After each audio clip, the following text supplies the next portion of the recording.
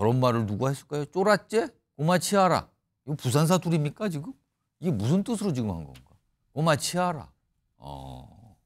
이 방송 혹시 부산에서 보고 계신 분들은 아 이거 우리 동네에서 많이 쓰는 말들인데 여기 왜 나왔지 또 하실 수도 있겠네요 지금요. 자, 요 얘기 좀 하기 전에요. 오늘 조국 전 장관의 딸 조민 씨 입시 비리 관련된 1심 재판 결과가 나왔어요. 그에 앞서서 조민 씨 법원에 들어갔다 나왔다 뭐 하는 모습이 있거든요. 확인해 보겠습니다.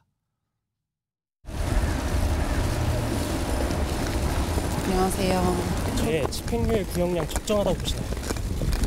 서울대 세미나 실제로 참석하셨나요? 검찰이 위증 처벌 가능성도 언급했는데 오늘 벌금형 나왔는데 어떻게 생각하실까요? 항소하실 계획이실까요? 공소기각 받아들이지 않아. 자, 오늘 재판 결과 화면을 좀 정리해 보죠. 자, 이 내용입니다. 입시 비리 혐의 오늘 1심 유죄 선고가 나왔는데 벌금 천만 원이 나왔어요. 그래서 이제 뭐 허위 작성 공문서 행사, 뭐 업무 방해 등등등 이런 혐의거든요. 그리고 공소 사실 모두 유죄로 인정한다. 원래 검찰에서는 징역 1년의 집행유예 이걸 구형을 했단 말이에요. 근데 이렇게 나왔는데 유기찬 변호사, 요거는 요 오늘 나온 천만 원 벌금형, 요거는 좀 어떤 의미를 가지는 겁니까? 그럼? 그 법원에서 여러 가지 사정을 감안한 거죠. 음. 그러니까 조민 씨가 수사 단계에서는 본인의 혐의를 인정하지 않다가 예. 재판 단계에서는 이제 인정을 했어요. 다만 뭐 공소기각 판결 구한 부분이 있지만 그건 법리상의 문제고 음. 사실관계 측면에서는 다 인정을 했단 말이죠. 어. 어, 그러나 검찰도 사실 구형할 때 약간 조민 씨를 봐준 게 있어요. 그러니까 작성죄는 네. 들어가 있지 않고 행사죄만 들어가 있거든요. 행사죄하고 공무 집행 방해만 들어가 있어서 어. 그러니까 이 저 사문서를 위조했다 이런 부분은 의심은 가지만 사실 안 넣었단 말이죠. 아, 그럼 혐의에서 뺀 겁니까? 뺐죠. 그거는? 그러니까 행사죄하고 오. 이제 공무집행 방해 내지 업무방해만 들어가 있죠. 이 부분도 여러 가지 사정을 감안해서 이제 기소를 한 것이고 예. 어, 재판부도 저 집행유예를 구형했지만 벌금형을 선택을 했다는 것이죠. 근데 음. 금액이 작지는 않습니다. 천만 원이라는 금액은 굉장히 큰 거예요. 어, 벌금형 중에서는 거의 아마 최상한의 아, 천만 원. 벌금형이라는 거는. 그렇죠. 왜냐하면 법정 해당 조항의 법정형 중에서는 천만 원이 상당히 그 최상이거든요. 아. 그러니까 어느 정도 법적으로 이 조민 씨에 대한 행위에 대해서는 어. 문제의 여지가 크다라고 재판부가 판단한 것이고 오. 다만 이제 조국 전 장관과 정경십 씨 등이 뭐 실형을 구형- 선고받거나 이미 이제 다 마쳤잖아요. 예. 그런 측면에서 보면 어, 같은 집안에서 또 지- 어, 실형이나 내지 집행유예가 나온다는 것은 조민 씨 입장에서 보면 벌금형보다는 집행유예 나오게 되면 여러 가지 또 직업 선택할 때 아, 제한이 있어요. 그런 것들을 감안한 것이다. 아, 재판부가 그걸 감안한 걸로 보입니까, 그렇죠. 지금요? 어, 또 아들도 남아 있기 때문에 예. 어, 재판부 입장에서도 좀 감안하거나 감안했지만 예. 어, 이분의 행위에 대해서는 엄단한 것이다, 아. 꾸짖은 것이다 이렇게 아마 봐야 될 것 같습니다. 그래서 1심 재판부는 벌금 천만 원에 선고를 했다. 그런 건데요. 다음 얘기 좀 보겠습니다. 지금 그렇게 되면은요, 이 조국 가족, 지금 조국 대표는 2심에서 2년, 입시 비리 등등등 이런 혐의죠. 감찰부와도 이렇게 혐의가 있는데 2심에서 징역 2년이 선고됐고 지금 3고심 대법원에 가 있죠.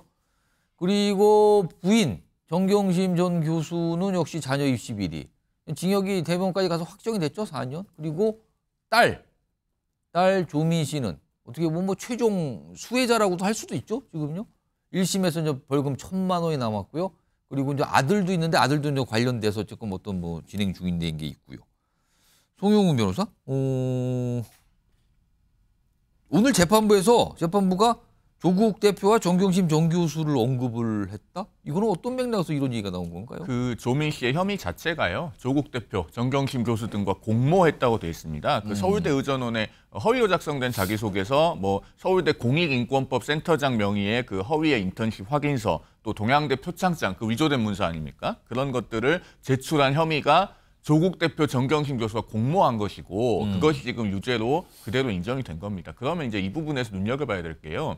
조국 대표가 지금 대법원 상고심만 남겨놓고 있습니다. 그런데 지금 그 조민 씨와 공모해서 이런 일들이 벌어진 거는 법원에서 또다시 인정이 된거또 아니에요? 다시 법원이 판단을 한 셈이 그렇습니다. 됐네요. 그러니까 대법원에 가서요.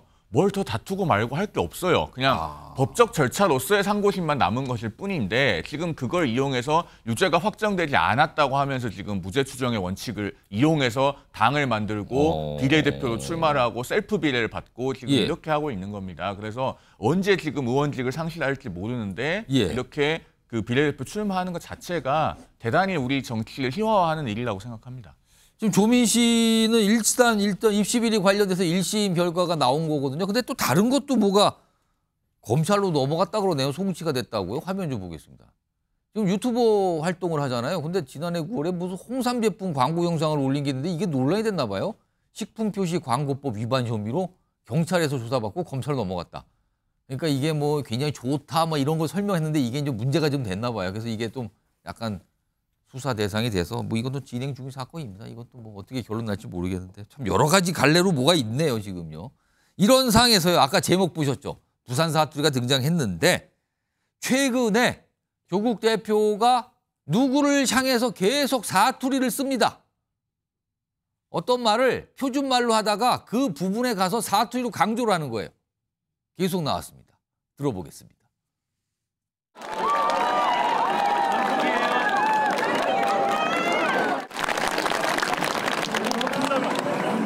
윤석열 정권의 핵심 인사들의 범죄와 비리를 밝혀 정당한 징벌을 받도록 이제 고마 치아라마 조국 혁신당에 대한 국민들의 지지도가 높아지니까 이 위축된 한동훈 대표와 국민의힘이 예민하고 불안해진 모양인데요. 네. 제가 표준어로 하면 어감이 살지 않을 것 같아서 제가 부산 사투리로 한마디 하겠습니다. 너희들 쫄았제? 아, 저기서 나온 거군요. 좀 화면 정리해 보죠. 지난 15일 언론 인터뷰에서 부산 사투리로 한마디 하겠다. 너희들 쫄았제. 그리고 어제 부산이에요. 이제 고마 치아라마. 억수로 억수로 감사합니다. 아, 저것도 부산 사투리인가요? 그리고 한동훈 비대위원장 관련해서 또 얘기를 하는데 한동훈 바람 잠재운 건 사실이다. 너희들 쫄았제. 너희들 쫄았제라는 표현을 자꾸 쓰네요. 뭐 쫄리나라는 표현도 있고요. 어, 이게 사투리인데 이걸 또 반박하신 분이 있어요?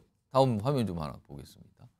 조종훈 후보죠 지금 국민의힘 의원인데 조국 대표님 그런 말 쓰는 거 보고 겁먹고 겁주는 건 조폭들이 나는 짓입니다. 왜 그러십니까? 언어 거칠어지시는데요. 왜 그러세요? 약간 이런 반응이 나왔습니다.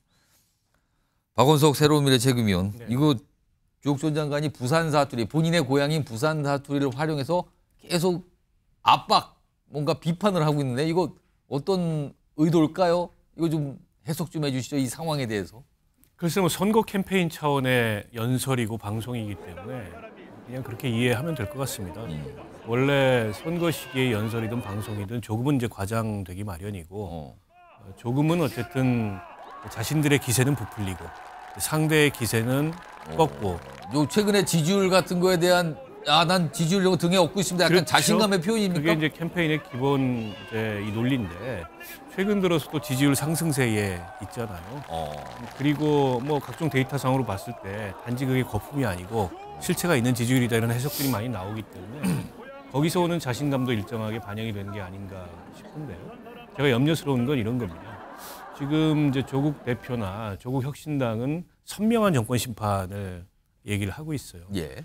근데 그 선명성이 가져올 정치적 결과에 대해서 한번 생각을 해봤으면 좋겠습니다. 어. 가뜩이나 우리 지금 정치가 양 당의 극단적인 증오와 대결 혹은 적대의 그런 언어들이 넘치는 예. 이런 정치다 보니까 정작 중요한 국민들의 민생 문제라든지 국가의 어떤 미래 계획의 문제라든지 이런 것들 정치가 다루지 못하고 있다. 음. 그래서 이런 적대적인 증오와 대결의 정치를 넘어서야 된다. 이런 지적들이 있잖아요. 예. 근데 지금 지금 조국 혁신당에서 얘기하고 있는 3년은 너무 길고 검찰 독재 정권 타도하자. 이거는 이제 선명성을 내세우지만 실제로 어 그런 어떤 조국 혁신당이 이 국회에 들어왔을 때 어, 그것이 나타날 그것이 어. 그이 보이게 될 정치는 지금과 같은 그런 어떤 적대와 증오와 어, 혹은 대결의 정치를 더 격화시키는 거 아닌가 그런 면에서 저는 선명성을 더 나은 대안을 어, 명징하게 경쟁하고 선명하게 경쟁하는 그런 선명성으로 좀 확대됐으면 좋겠다. 어. 어, 지금 뭐 조국 그 이 혁신당이 하나의 이슈, 그 싱글 이슈 파티인 거죠. 검찰 예. 독재라고 하는 그건 하나의 전략일 수 있고 이해는 하는데 그러나 어쨌든 정치라는 거는 종합적으로 국민의 생활을 다뤄야 되는 그런 공적 활동의 영역이기 때문에 그런 공적 활동의 영역에서 마치 이게 무슨 거리에 그런 이 운동을 하듯이 음. 선명성을 얘기하는 것은 당장의 선거 캠페인에는 효과적일지 모르겠으나 우리 예. 정치 발전을 위해서 그다지 좋은 결과를 가져, 가져오지 않을 수 있다. 이런 점도 저는 경계해야 된다고 봅니다. 자, 조국 혁신당 지지율 결과 뭐 비례정당 지지율에서는 30%를 넘어가는 결과도 나오는 상황이니까요. 주목을 분명히 받고는 있습니다. 이에 대해서 여권 인사들이 뭔가 분석을 좀 내는데 우선 홍준표 대구시장 중앙 정치에 굉장한 관심을 갖고 있고 총선 상황에서 요즘에 얘기 좀 하죠? 화면 좀 보겠습니다. 분석을 해요. 조국 혁 신당에 대해서. 어, 지민 비조 프레임이 먹혀서 민주당은 지역구에서 약진 그리고 정권 심판론의 편승에 비례는 조국 신당이 국민의힘과 대등한 수순으로 치솟고 있다. 최근 지지율에 대해서 이렇게 분석을 하면서 이게 정치적인 시각과 법조적인 시각의 차이다. 아, 법조적으로야 조국 대표의 어떤 유죄 이런 걸 따지지만 국민적인 어떤 감성 이런 걸 감안하는 정치적 시각에서는 이걸 설명할 수 있다. 뭐 이런 이런 거 같네요 지금요. 이런 분석을 해요. 자 반면에 어떻게 보면 약간 아 이래서 이유가 있습니다. 뭐 긍정적으로 평가하는 것 같기도 하고요 취지는 그런데 이준석 개혁신당 대표는 약간 다르게 보고 있습니다. 조국신당의 미래에 대해서 들어보시죠. 조국 전 장관이 이미 형사적으로는 2심 유죄까지 받은 상황이고 네. 사실 대법원은 재판을 열지 않아도 언제든지 선고를 할 수 있는 곳이거든요. 그래서 경우에 따라서는 헌재사상 처음으로 아마 어 당선자 신분으로 조국 전 장관이 대법원 판결을 받을 수도 있다. 저는 그래서 이런 것들은 좀 제가 봤을 때 장당의 지속성이 있어가지고 좀 의문을 갖게 되는 상황 아닌가. 어, 그러니까 홍준표 시장은 약간 이거는 뭔가 법적으로만 판단할 수 없는 뭔가 있는 겁니다. 그러나 이준석 대표는 지속성이 약간은 의문인데요. 문제가 있어 보입니다. 이렇게 좀 다른데요. 최영주 부대변인은 조국 신당의 미래 어떻게 보십니까? 그러니까요. 참 의외의 어떤 지지율 결과잖아요. 지금 현재까지 보면 지금 총선이 19일 앞으로 다가섰는데 이게 무슨 거품처럼 사라질 지지율은 아닌 것 같아요. 이 추세를 어, 보면 이준석 대표도 지금 보면은 이게 뭐 나름대로 좀 우려를 표하지 않습니까? 예.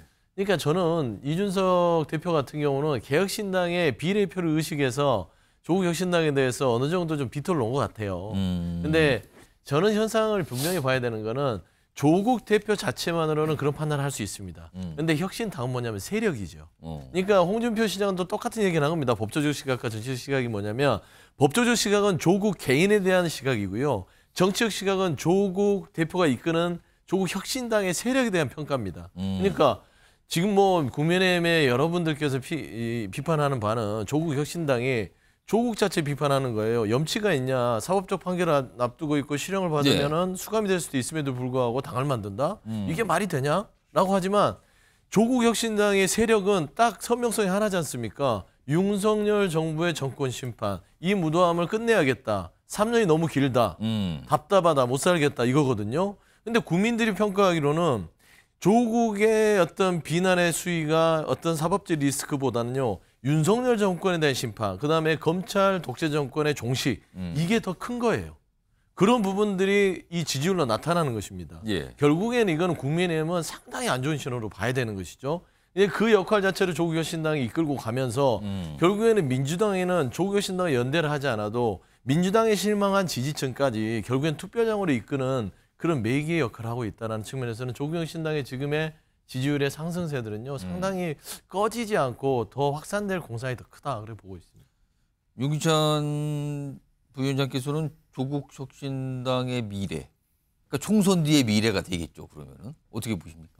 그러니까 지금 조국 대표가 하는 그 역할을 보면 예. 본인에 대한 비난은 다 감수하겠다는 거고요. 음. 저는 이재명 대표의 민주당에 대한 불만 세력 가장 큰 게 이제 친문 세력들이잖아요. 음. 친문 세력들을 지지하는 국민적 시각을 다 반영하는 거죠. 어. 그러니까 본인이 아까도 사투리 쓰는 것도 보면 약간 노무현 전 대통령과 문재인 전 대통령을 패러디하는 느낌이에요.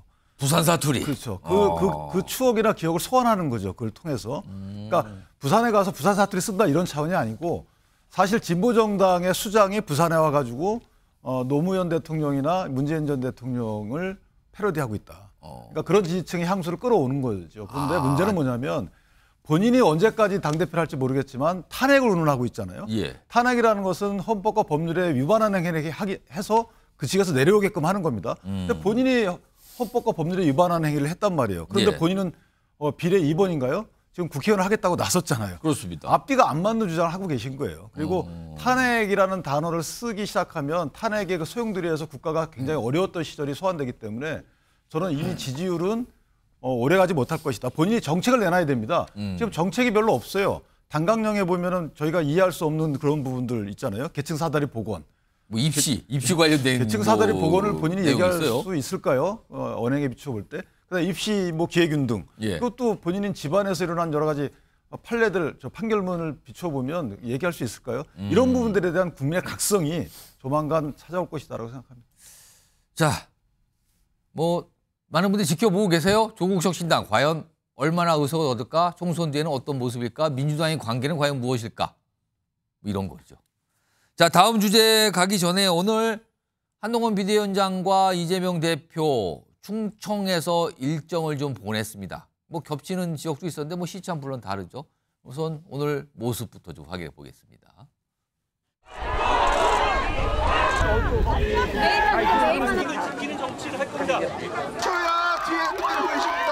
여러분 후진 사람에게 후진 방식으로 지배받고 싶습니까? 아니면 장동혁 같은 사람에게 봉사를 받으시고 싶- 싶으십니까? 보령, 서천, 서천 보령의 시민을 충실하게 모실 겁니다. 우리는 여러분의 공복입니다. 이번 선거는 신한일전을 짓고 있습니다. 국민의 뜻에 반하는 민주주의의 원리에 반하는 반국민적 정책 집단에 대해서는 어떤 심판을 하는지를 여러분께서 보여주실 걸로 믿습니다. 자, 화면 좀 보겠습니다. 오늘 일정을 좀 비교해 봤어요. 오늘 한동훈 비대위원장은 충남 보령이고요. 그리고 충남 당진, 여기 전통시장 방문했네요. 그리고 경기도로 넘어왔어요. 평택 관성. 그리고 이재명 대표는 충남 서산. 그리고 당진에서 역시 전통시장 같은 곳이네요. 그리고 아산. 요런 일정들을 했습니다. 근데 여기서 지금 이재명 대표가 특히 무슨 신한일전 얘기를 꺼냈어요. 신한일전. 요거는 잠깐 윤기찬 변호사께 갑자기 한일전이 왜 나요? 뭐 축구입니까? 그러니까 계속 그 본인이 국내 심을 몰아넣을 수 있는 프레임을 계속 말씀하시는 건데 사실은 본인이 저간 지역이 조한기 후보의 지역구예요. 오. 조한기 후보 오늘 서해 서해 날 기념식이 있는 날이잖아요. 예. 거긴 들어가지 않고 재판도 안 가시면서 오늘 막 재판이 빠졌어요. 네. 조한기 후보 그 지역구에 갔는데 저 조한기 후보라는 분이 사실은 천안함 음모론에 동조하는 듯한 SNS 글을 올려서 문제가 됐던 분이거든요. 근데 거기 그- 가서 또 한일전 얘기를 거기 거긴지 그 미친지 모르겠지만 아. 당진인지 어쨌든 뜬금없는 한일전 얘기를 하실 게 아니고 서해 수호날과 관련된 여러 가지 입장을 내시고 오늘 그 조한기- 행사에는 참석하지 않았죠. 안 오늘 했어요. 홍익표 원내대표가 재판도 안 참석하셨네요. 가셨습니다. 그러니까. 그랬으면 조한기 후보가 기존에 했던 음모론과 할- 뭐 지지하는 듯한 이 SNS 글에 대해서 입장을 밝히도록 얘기를 하시든가 이래야 되는 건데 어. 지금 뜬금없는 한일전으로 물타기 하신 게 아닌가라는 생각이 듭니다.